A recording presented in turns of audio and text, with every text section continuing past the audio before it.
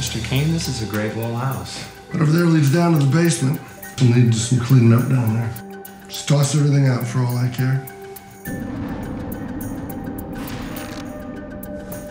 What's this? Yeah, I found that down in the basement in a box, just in a bunch of random junk.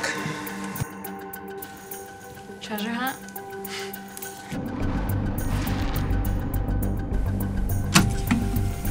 Are you ready? Shall I begin? Do you know who the singer is? Yeah. I recognize that voice. Her name was Carol James. Whatever happened to her? She died young.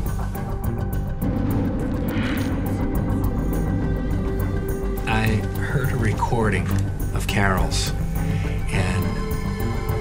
can't get it out of my head. I, I just have to know more about the woman with that amazing voice. Well, just be careful, Mr. Harker.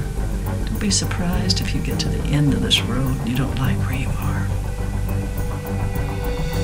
Well, he came here asking all kinds of questions that I don't want to get into. So whatever this little fantasy he has that he's taken with, he shouldn't be messing with it. Jake, what's going on with you?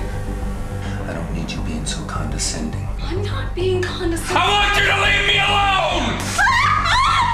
Why can't you understand that?